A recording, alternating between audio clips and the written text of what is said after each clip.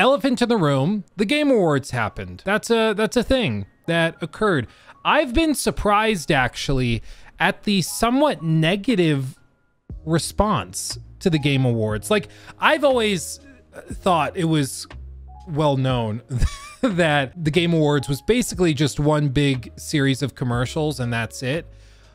But for some reason, it's like surprising everybody. Everybody's like, "Wait, like the awards are an afterthought and and the the ads are the focus? What? And everybody's shocked. And then it's so corporate too. Like they have all of these movie stars and actors coming up to do stuff. Game of the year was announced by wish.com willy wonka for some reason. I don't understand. Like the whole thing is just bizarre. And um some xbox controller modder who has a tiny youtube channel that's funny. Uh, so it's just other than Monster Hunter Wilds being announced, but still being like a year and a half away, there wasn't a whole lot for me to be like, oh wow, that was that was awesome. I know some people are pumped about Blade, but it's a cinematic trailer. That's it. We saw some more stuff with Suicide Squad, which I guess is fresh to you if you didn't get into the closed alpha allegedly. So I guess that's a thing. Flute guy was there. That's true. So I guess that's good. I don't know. There just wasn't a whole lot. The the Black Myth Wukong trailer looked really good. I'll give them that. This was probably the worst, like the single worst trailer I've ever seen in my life. We've seen some bad trailers. I thought the Hellblade 2 trailer was pretty horrible. This thing, like, this is supposedly uh, supposedly a trailer for a game that breaks genres and industries and media types. Like this is supposedly a game that's going to shake the world. And they decided to do like a tech demo face capture thing, which looks identical to the stuff they did way back when with like LA Noire behind the scenes. Let me see if I can find the those clips. Yeah, like these. This was basically their trailer for their cutting edge game. Was just this. They just filmed this and we're like, yeah, that's a good trailer. And then everybody gives Kojima a standing ovation. I genuinely don't understand it. It's just odd. I don't get it. It will get voted best because it's a Hideo Kojima game. Well, I I think that there's sort of a, a, a swing back effect right now, a pendulous motion within some of the gaming industry where everybody's aware that there's some extremely awkward bias with Geoff Keighley. We all joke about his bromance with Kojima, but like, you know, we have tweets that are going out and going like semi-viral because it's like, yeah, know the Game Awards rules. OD comes out. It's the worst trailer I've ever seen. Except he's like, oh yeah, no, take whatever time you need. We're gonna have you and Jordan Peele come out and stand on stage for 10 minutes saying basically nothing. And then we're going to like once Alan Wake wins awards, yeah, wrap it up. Which this is a this is going to be a meme now. Um, was the teleprompter after about 30 seconds for all of the awards, a big please wrap it up thing would go up, and then they'd start playing music to walk people off the stage because they needed to cram as many ads in as they could. And I get it; they didn't want a Christopher Judge situation. If you don't remember that, last year he did like an eight minute speech and it was like one of the first things to happen in the show so it threw the whole thing off but i don't think this was a great way of doing it like larian won game of the year and they got rushed off the stage as they're like saying thank you to a deceased member of the I think cinematic team. It was like the lead cinematic designer. They're like, "We want to dedicate this to you, my friend. Rest in peace." And then they're like starting the music. Please finish up hurry along. Like it's just bizarre. But i mean that's what it is. It's a it's a show. They have to keep it on schedule and pump it out. But it just reaffirmed for a lot of people that this was not about actually giving out awards and giving those people the time to say thank you to those who made it possible. It's about shoving as many commercials into a three and a half hour show or three hour show whatever it was as they can. And it's just weird. And there were a lot of trailers I'll give them that. There were a lot of announcements and things. One of the things that was perhaps, I mean, I, we had heard rumblings about this, but we hadn't actually seen it. The new game coming from Hello Games, which if you missed it, this was basically a trailer for what they said. I forget exactly how he phrased it, but it was basically No Man's Sky, but in reverse. No Man's Sky is a series of stars and galaxies, and it's basically a universe uh, sim where you can go to all of these planets that are procedurally generated. But each of the planets are pretty small, and they're each kind of each individual planet is a biome, and that's it. But for the last five years, apparently they've been working on this project that is the opposite in a way, where it's a singular planet. It, he said like the size of Earth or larger, so probably larger than the planet Earth, but that all players can go to and play on all at the same time. And each each of the the areas on the planet are like its own microbiome and so you can go and the size of the planet like the actual planet hold on the bit rate is really low. Oh i bet it's because they just straight up took this from the stream. Yeah gamespot's got it. I think ign just straight up recorded the stream and then uploaded that. Gamespot looks like they have the actual trailer. But it's a cool idea. It's very ambitious but again like just like we saw no man's sky this is allegedly being developed by like 12 people okay? So like don't expect actual magic. I will say they've learned a lot and i think that they've shown with no man's sky they know how to build upon a foundation and help it grow. But this is something i would expect launches and it's pretty boring. And then over the course of like five years with tons of expansions it gets to the point where it's really cool. But uh, at the outset, it's like, oh, that's a cool technological feat. I don't know how that makes for a really fun video game, but I'm open to it. I'm interested. Because, I mean, they are actual, like what he said in the show was they're actual mountain sized mountains, miles high, not video game mountains where it's like a couple hundred meters up. They're basically just big hills, but actual mountains. I will say this does have the No Man's Sky patented rock pop in. If you haven't played No Man's Sky, you might not be familiar with it, but just like watch this field over here. You'll see the boulders load in. Yeah, see all those. That's classic No Man's Sky, but it's an actual planet sized map. At least that's what they're talking about. So that was at least interesting and a little novel and different. It's called Light No Fire. And as for when we see it or hear about it, who knows? Who knows? I have, I have no idea. Other than that, uh, we didn't get a Death Stranding 2 trailer. Chadwick, thank you for the 4.99. Like to see your praise of Cyberpunk 2077. Never had never had a game hit me like it does. Uh, yeah, I mean they've uh, the fact that we thought it was done and it was already really really impressive what they had done and then we got even more is even crazier jurassic park survival no not talked about that either um let me pull that up in another tab too and we can touch on that because that was one that i actually that was a surprise so this is senua's saga hellblade 2 and this place of fear and fury as of like so far, we've only really seen cinematic stuff. We haven't seen actual gameplay. The heartbeat of the lost ones. But that changes here. It's graphically very, very impressive. I don't think it looks as impressive today as it did when they first showed it off, but that's mainly just because we've seen some other really, really amazing stuff come out. But we saw actual gameplay. It looks like your standard Hellblade combat, really punchy but not overly complicated. Mostly about, you know, maybe light, heavy attack and then some parries. It doesn't look like they've done a whole lot other than new animations and stuff like that for parrying stuff. But it looks like it's probably going to be Hellblade like we got last time, but just with some knobs cranked. And that's good enough for me. Um, it's a cinematic experience first and foremost, and that's what they seem to be able to deliver. This is one to keep an eye on. And as they show more, I mean, there's just tons of wacky, crazy stuff. But they gave it a 2024 release date, probably holiday. Xbox's goal is to have one release every quarter, like one big release every quarter, and this would be one of them. So I would guess that this probably slides into that fall or winter slot, which I think is a good spot for it. Doesn't this look like a game you want to just curl up on the couch and play? You know, just curl up on the couch, nice and cozy. Yeah, the, the video compression doesn't do it justice. The texture quality is crazy. That is apparently coming next year as well. So that was cool to see. The other one that was very surprising was also this Jurassic Park survival I own an island. Um, they didn't hold out very long. They were just like, "Yep, here's the theme music. There's that."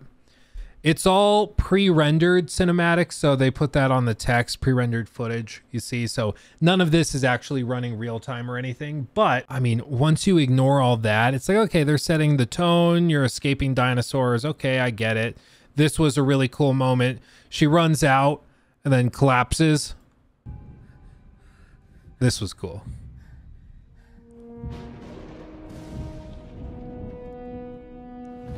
Isn't that awesome? I think that's pretty cool.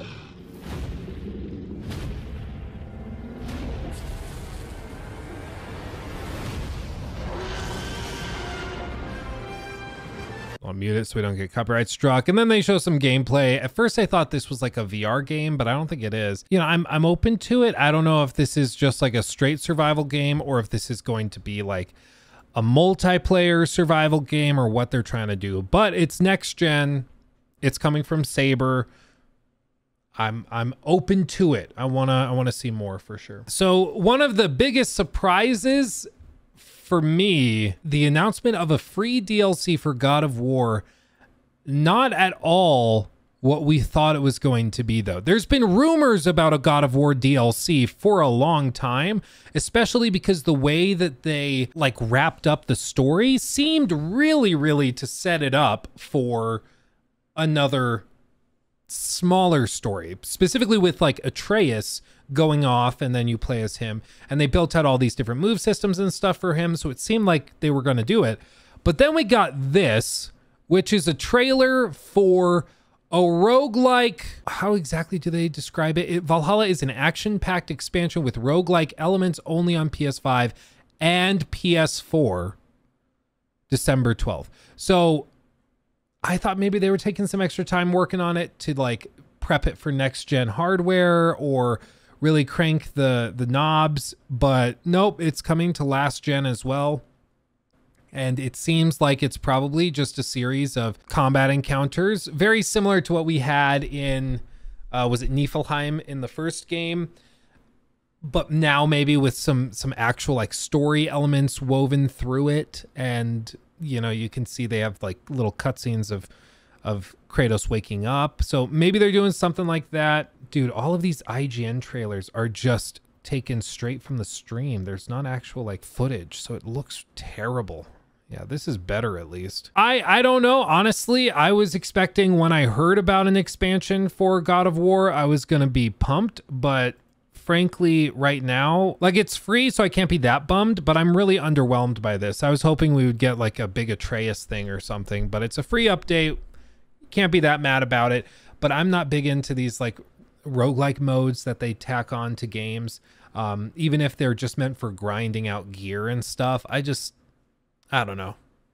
I don't know. It's just not for me. It's not for me. So when I saw it, I was like, oh, okay. Jared, Luke, what are your thoughts on Spider Man getting zero awards? Honestly, everything it was nominated for, I, I just frankly think there were other games that did those things better. Like, people I saw people freaking out because they were like, "Oh, well, did you see that Yuri Lowenthal didn't win best performance?" I'm like, "Yeah, I didn't think his performance was the best of the year either." like was it deserving of a nod or like a nomination? Sure, whatever, but like I I just think it's it's believe it or not, it is possible that sometimes games can or, or games can be nominated or actors can be nominated and they, they just don't come out uh, on top compared to the competition. Mutahar had a funny take because this guy posted this tweet, was really upset about it. And it's like, Baldur's Gate 3 winning Game of the Year over this is crazy. I'm like, okay, you picked a cinematic moment from the opening of the game. Spoiler alert, nothing this cool happens for the rest of the game. In terms of like showing off the PS5 SSD, this is far and away like the biggest moment. Um, but beyond that, they also said something really funny, and I'm to say I love Baldur's Gate 3. It's my game of the year. I love it dearly. This is, I think, hilarious, though. like, come on. That is, that's a little funny, okay? I'll give you that. That's a little funny. Uh, oh, that's okay. So, this guy was very upset about Spider-Man not winning Game of the Year, and Mutahar was just like, "Yeah, because it's a better game, lol." and it's just, I I don't think Spider-Man Two was like a bad game. It's just it came out in a year with some generation-defining games that were just shockingly good, and those games got the awards over Spider-Man, which was a comparatively very safe sequel that didn't do anything that crazy um, in comparison. Like Baldur's Gate 3 will be talked about for 20 years as people keep pointing back to it as the standard of what these RPG games can be. And Spider-Man 2 I think is just going to be tossed into, oh yeah, it was another Sony exclusive third person adventure game. So there was that. um, people pretty upset about Spider-Man. I I don't think it's that outrageous. I think it was pretty predictable that it wouldn't wouldn't beat it out. Oh yeah, Skull and Bones deep dive trailer. I am hopeful. I can't say anything too specific, but I'm hopeful that I get my hands on Skull and Bones relatively soon. And if I do get my hands on the game relatively soon, we might just do that on stream and then you guys can see what the game is actually like in real time. Xbox took home a few dubs. I mean, they announced, well, there was one really weird thing. They did announce some big stuff that I think at least show that they were present, which is more than I think could be said last year. I mean, like last year and uh, honestly a few years before that, they just never, excuse me, as I belch. They never could really get their feet under them. And what was kind of odd is like they announced this Blade game, which is their big Marvel title coming from Arkane Lyon. And it, it seems interesting, but they also have not said clearly that it's an exclusive. They didn't put the Xbox branding on it. They didn't do any of that. So it makes you wonder did Marvel require them to make it multi-platform? Little surprising. They still like won't really talk about it. Yeah, Xbox Wire simply links to a story about the announcement on Bethesda Net, which also doesn't include any specific mentions of Xbox in it. You can contrast this with the Bethesda Net story that followed the announcement of Redfall back in 2021, which features multiple mentions that not just that the game was uh, on was an Xbox Series X and S X and PC exclusive, but also that it would be coming to Game Pass day one. They reached out to Bethesda in order to ask if Blade was an Xbox console exclusive, and they declined to comment. Xbox owns Arkane, Their last game from another team uh, under their umbrella, but their last game, Redfall, was an exclusive coming to Game Pass day one. But with this one, they're not just like not mentioning it they're declining to comment. Is it not really weird? Like, it's just strange to me. It's very strange. I can't think of a, an example of another game that's been announced like this where they just refuse to say specifically what it actually is. And so, like, maybe it's still being negotiated. Maybe.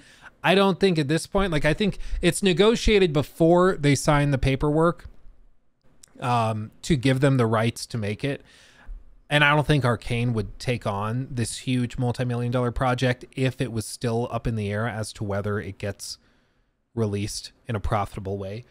So I don't know. My guess, uh, based on this reaction, it could be that Marvel is just saying, hey, we don't think that Xbox has enough users to justify putting this exclusively on your platform with the payout. So we want cross platform. We want it to come out on PlayStation 5 or maybe release it on Xbox and bring it to PlayStation 5 later or something. I, I don't know, but it's very weird that they aren't being specific. It's very, very strange. Very strange. Because you would think if it was exclusive to Xbox, they would just say that. Like, just say it.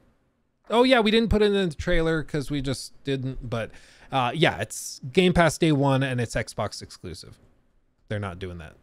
They're intentionally declining to say it, which is weird. Let's see. Chadwick also, thank you for, for the uh, 499. Don't forget, Capcom hasn't released anything on Pragmata in a while. Capcom has a lot of irons in the fire, I think. I think they got a lot of stuff uh coming spec ops thank you for the 20 gee whiz thank you very generous good to see you my friend um i'm surprised people are surprised it would be any different than any other award show they're all shit unless ricky gervais is hosting yeah I mean, my frustration with Geoff Keighley, the almighty Dorito Pope, Dorito Pope's in chat, everybody, is just that I think he has done a really good job of making the gaming industry much more mainstream. And he tries very hard to do that because he got started in like TV and journalism in that sect.